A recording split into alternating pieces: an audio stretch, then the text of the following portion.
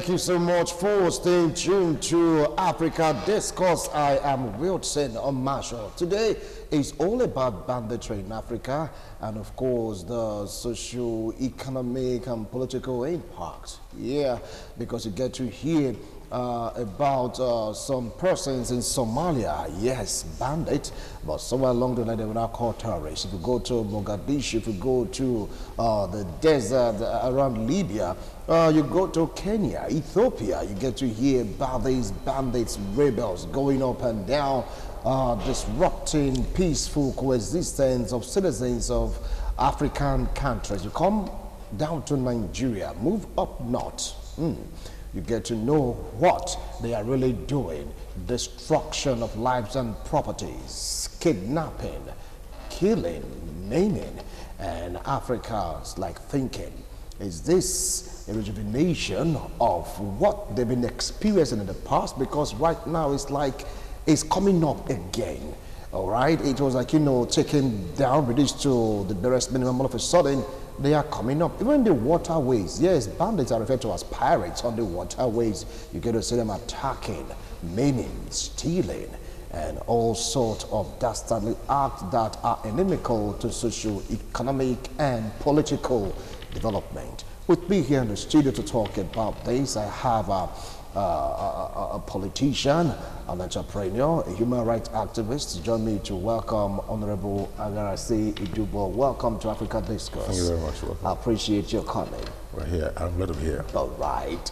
Well, Nigeria, our country, and they're getting their fair share right now of banditry.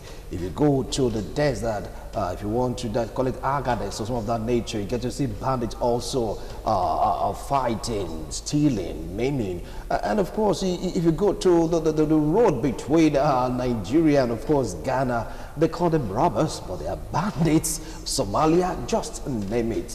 I don't know. what do you think is making them to resurface in this continent? Have been reduced People are saying that they've not heard about them for a while now, but right now they are coming out again, rearing their ugly heads. What do you think led to this onslaught, so to speak, of bandits in African countries? Yeah, very honestly, the resurgence is as a result of system failure. When you have most, band, most bandit groups they come into existence to protest against a system of governance. So it's not a question of just people just getting together and saying they want to become bad. They are, they are reacting to a situation, most times reacting to bad governance. And they get together and say, okay, fine, we'll pacify the system. And that's why they have, you know, in various parts of Africa now, where you have bandits, there is a response to the quality or failure of leadership those countries. Take Nigeria, for instance. Boko Haram, yes, bandits, yes. There have been Christian terrorists, there have been Christian, different kinds of, you know, names. Every day you hear that we have oh, decimated the Boko Haram. But tomorrow you hear that Boko Haram has killed 200 soldiers. So for me, it's a system failure where the bandits have, so to speak, overwhelmed government. And they, they continue in that state. Some do so purely on commercial you know, basis to make money. Uh, when they say they are bandits, they harass people, you call them, you make money available, they go to share. But basically, most times you find bandits anywhere. It's a reaction to the quality of leadership in, in, in those countries. Mm, reaction to the quality of leadership in that countries. Now, some of the opinion that uh, these so-called bandits, they are the ones that inadvertently turn into terrorist group. How true is this assertion? No, over time, no, over time, it's like some persons, the Nigerian situation, for instance, Yeah. the, uh, so to speak, Boko Haram, they try to say that, you know, Haram means education. Boko means against education. Boko is against. Haram is education. So Boko Haram is against education. So if you clearly understood that position from the very beginning, and you did not understand what to do to them, to get them to understand your own thinking as a government, now they started in one small way, either because somebody had used them and jettisoned all of them. You pick a group of people, you use them to achieve an objective, and in the course of time, you put them aside. So the group decides to get together and fight back the system. So they believe that the only way to ask for justice is to get involved in banditry. And that's why most times, when they are fighting, they are fighting facelessly, and they believe that the cause is to ask for a pound of flesh from persons they believe have been unjust to them. So this is until until that sort of injustice is righted, nobody will have peace. They keep saying there is a level of injustice which must be addressed. And most times, that injustice is never addressed. And to the extent that they don't addressed injustice, there is this fight that will continue.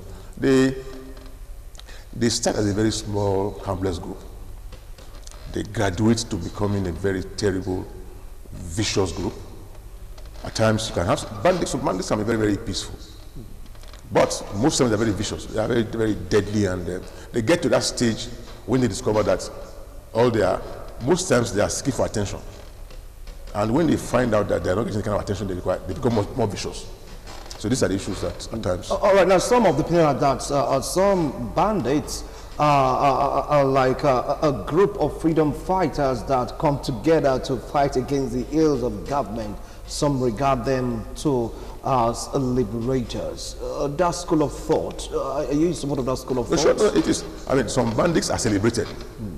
Some people believe in a community, for instance, when you find some of your colleagues that will rise up to fight on your behalf, they could, it, it could be an act of banditry. But those on whose behalf they are fighting will celebrate them eventually. And we have seen situations whereby bandits are celebrated in very many climes. Ah, they hail you for being brave. They, some see bandits as an act of bravery. But they're very, very clear and surely, bandits, they unleash mayhem. And the fact that they unleash mayhem, they cannot be said to be by any means friendly. I, I join the group of persons that think that they're terrorists because they terrorize an environment. I mean, we have lost close to, God knows how many now in the, in the Northeast. Every day you hear 100, 200, 60, 50. I mean, this cannot be said to be friendly attacks. These are very deadly and malicious attacks. And for how long will they continue to attack? And for how long will they not be given attention? We hear at times they want to start to negotiate with them. But each time we hear they're negotiating with them, we hear another group come out and say, okay, fine, they are al- already unleashing other mayhem. We hear, okay, they have been you know, decimated, okay, they have, they have uh, conquered Boko Haram, they have arrested or you know, whatever, and tomorrow you find another set of insurgents. So for me, until matters are addressed, you know, with some degree of conscientiousness, so much and so long shall there be, you know, issue of banditry in Africa. All right, we, want to go for a short break. When we return, we're going to be talking more about these bandits. Are they really freedom fighters or are they terrorists just coming out to get their own pound of flesh? Whose flesh are they really after? We'll be right back. Do stay tuned. Advice to the public on the coronavirus. The World Health Organization, WHO, recommends you take the following measures. Know that most people who become infected experience mild illness and recover, but it can be more severe for others. Take care of your health and protect others by doing the following. Regularly and thoroughly clean your hands with an alcohol based hand sanitizer or wash them with soap and water. Washing your hands with soap and water or using alcohol based hand sanitizer kills viruses that may be on your hands. Maintain at least one meter, which is three feet distance between yourself and anyone who is coughing or sneezing. Hands touch many surfaces and can pick up viruses. Once contaminated, hands can transfer the virus to your eyes, nose, or mouth. From there, the virus can enter your body and can make you sick. Make sure you and the people around you follow good respiratory hygiene. This means covering your mouth and nose with your bent elbow or tissue when you cough or sneeze. Then dispose of the tissue immediately. Stay home if you feel unwell. If you have a fever, cough, and difficulty breathing, seek medical attention and call in advance. Calling in advance will allow your healthcare provider to quickly direct you to the right health facility. If you develop fever, cough, and difficulty breathing, seek medical advice promptly as this may be due to a respiratory infection or other serious condition. Be informed. Be prepared. Be smart. Be safe. Be ready to fight COVID-19. This message is brought to you courtesy Independent Television and Radio.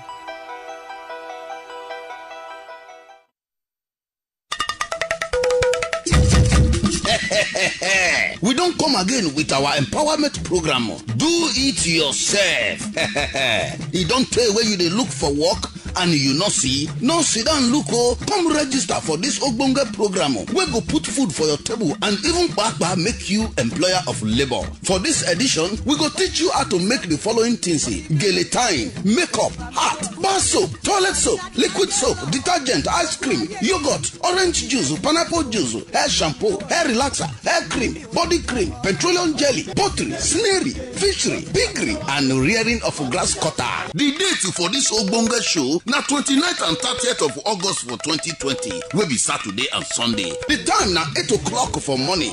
Venue na itv radio corporate office for glass house airport road for benin city. The training fees nko na 7500 for one person my people una do.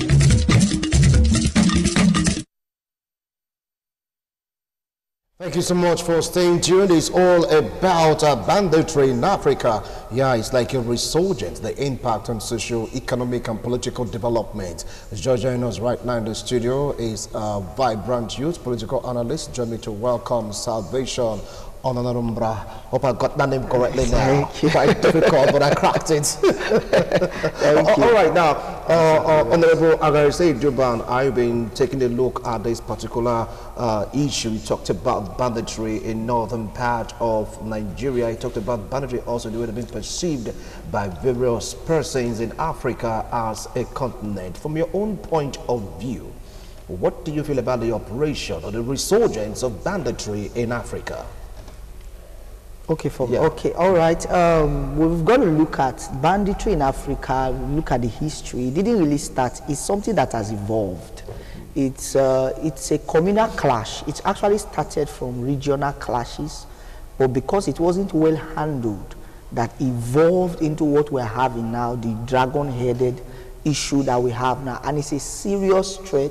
Uh, banditry is all about, we are talking of i- people who illegally own arms and dispossess people of their properties. More of we are looking at um, dispossessing them of their cows and other things, and looking at it, uh, we are talking of over time from the history it began because it was well handled now it has evolved and they, even, they have even gone into kidnapping you now have bandits who now kidnap and it's evolving day by day by day by day. If you look at it in africa it's a serious threat. It's a major security risk. And we are talking of a serious issue where lives are taken on a daily basis. On a daily basis people are dying in africa. Lands we're having farmer header clashes. Is, is, is just evolving. So generally it's a serious risk that we've got to use a better approach to look into it but we are in a serious risk. Because what you want to talk about if you want to calculate how much has been lost we're talking of billions of dollars lost to banditry. We are talking of our borders um, lives. We are talking of hundreds of thousands of lives lost to the activities of bandits in Africa generally. And so uh, it has been an issue that has been there threatening our agricultural sector. Farmers are no longer wanting to go to the farm because it has generated to that. Because what happened is these Fulani headsmen that we are talking about that are armed, armed Fulani headsmen that we have right now, it started from somewhere. What actually happened was people, they didn't start up as criminals. They actually started as people who were normally rearing cattle. Then their cattle were being stolen. So in the bid to fight back, they started arming themselves. So when they armed themselves to fight back, gradually it became crime. crime. Because you know, when somebody, uh, you know, yesterday somebody came to steal my cattle, and I, in order for me to protect my cattle, I arm myself illegally. And so gradually, when you hold arms, your boldness begins to increase. Alright. So before you know, it leads to you wanting to oppress Okay. farmers and all that. So it's something that has constantly evolved. The new phases that we see, it's evolving day by day. And the truth is that right now, if it is not well handled, it's evolving more and more. I have an encounter with a Fulani headsman uh, that uh, kidnapped somebody. Uh, I was involved in that issue for the release of the person. I was involved in the cause. And you could hear a Fulani young man telling you that you think I'm a small boy, you want to give me 500,000? As I'm talking to you, I have over, over 10 million in my account. And you are telling me with 500,000. Okay, your own testimony about the uh, the, the armed Fulani Yes, because I believe we have some decent Fulani Of course, we are talking of the, the ones that are illegally armed. all right, they all are right. decent ones. Okay, I, I I will come back to you. Now, Honorable, you're trying to give an example of uh, the bandit in Somalia, how they came into being. Yeah, like I said, I mean, like he said, they evolved. Yeah. The Somalian bandits were protesting against the system. Yeah. There were some traditional persons who they believed were oppressing them. And to fight that institution, some set of young persons came together to say we must fight this process. Hmm. And they came together and became what we now say we now call bandits. Banditry takes a country, a nation, a continent backwards. Because the kind of things that you lose by the activities of bandits is such that you can't even quantify. People are so scared of doing their natural things because they fear of attacks in various forms. Like he, like you mentioned, when we have persons who are scared of another person, by virtue of the fact that he, he carries a weapon which you consider uh-huh. superior to your weapon, maybe you have a cutlass, so somebody carries a gun, of course he is carrying a superior weapon to yours. And you find out that until we check all of this, like I said before, the, it's, it's a protest against the system. It's a system failure. It's that governance has failed to an extent of not being able to check these activities of these bandits.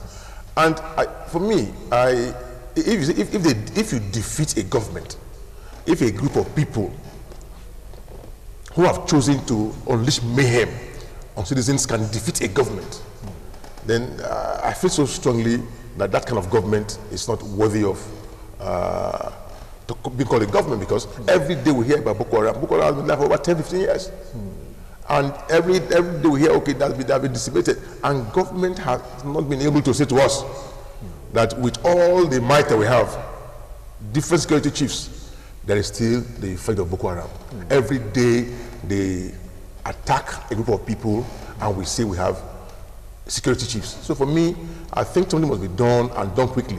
Otherwise, they will overrun, they will overrun these people one day and this country will just be I, don't- I don't know if naked now, but I uh-huh. just believe that what needs to be done is that, like he, he talked about, that they, they, they evolved Yeah, over time. over time. That is, they started, mm. and nobody nobody checked them. Mm. If they were checkmated, maybe they wouldn't have gotten to this level.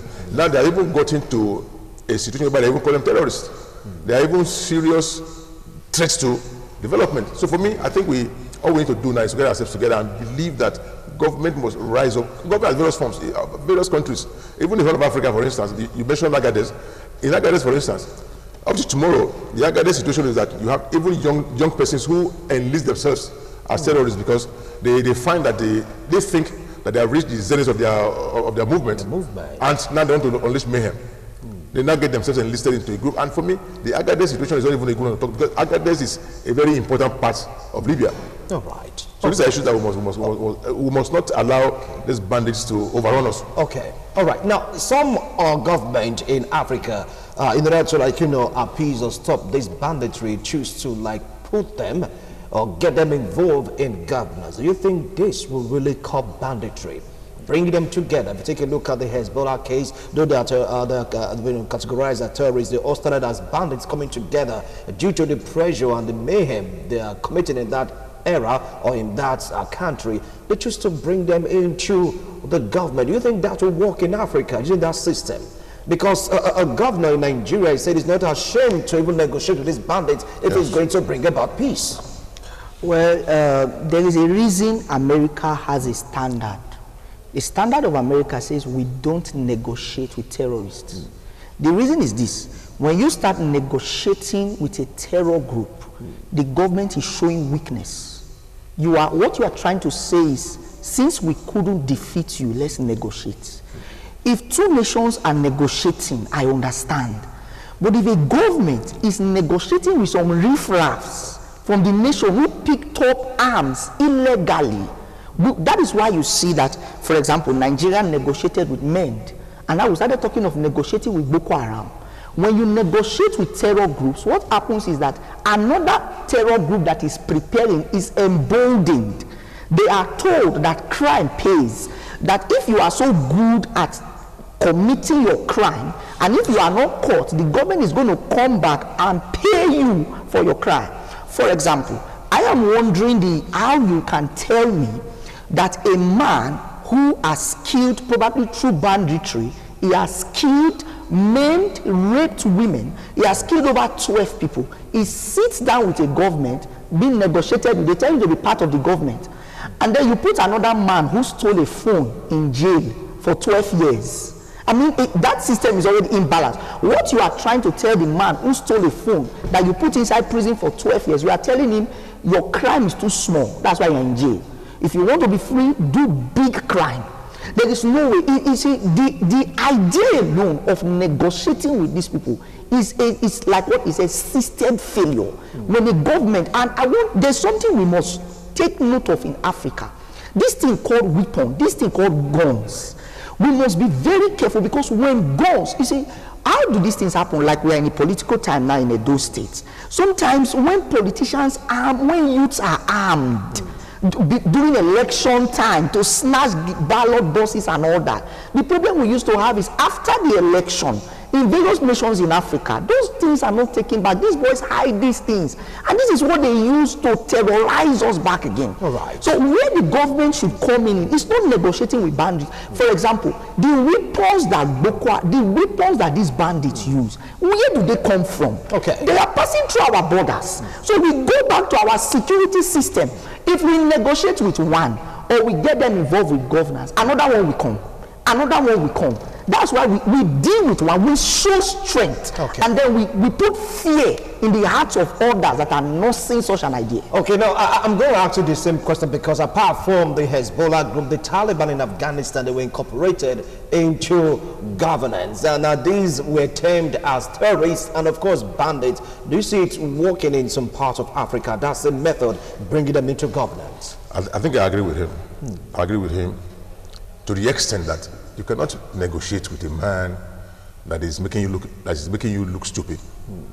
I mean, if if the Boko Haram people have terrorized government for 15, 20 years, and government cannot use any might to wipe them off, I mean, it's a system failure. Mm. America will not negotiate with you know a, a, group like that.